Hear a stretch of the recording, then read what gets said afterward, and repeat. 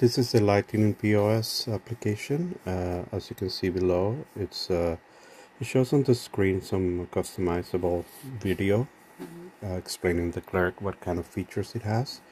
Uh, it has reports, uh, different reports, accounting, settings, and you can scan the QR code. And the bottom, once you trigger, it will open the uh, accepting uh, Bitcoin Lightning. In this case, uh, I still need to figure out the authentication, so I haven't passed that part yet. It also supports either Square or SumUp. Uh, that's very popular in Canada, UK, uh, especially Square. Uh, so it's integrated already, so it can tap into the phone, or if you have a Bluetooth reader, it will complete the transaction.